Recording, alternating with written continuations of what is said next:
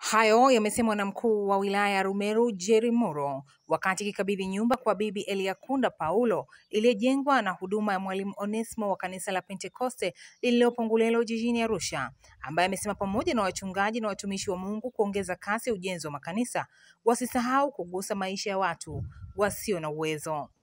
Lakini tuko hapa kuwaambia, pamoja na kuwa na makanisa mengi, makanisa haya yamesimama na kugusa maisha ya watu. Amen. Leo huduma ya Mwalimu Onesimo inainua huduma ya makanisa yote yaliyoko katika wilaya hii.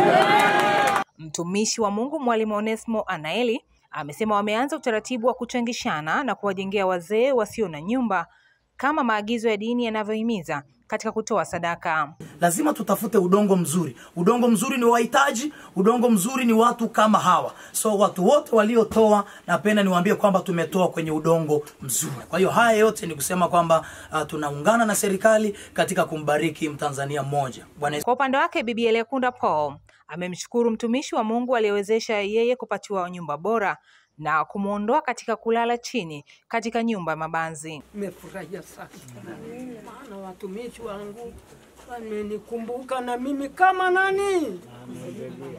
Haleluya, amen.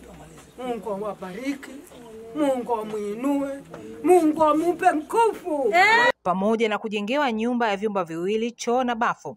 Pia amepewa thamani za ndani pamoja na mahitaji mengine. Beatrice Gerard, Star TV, Arusha.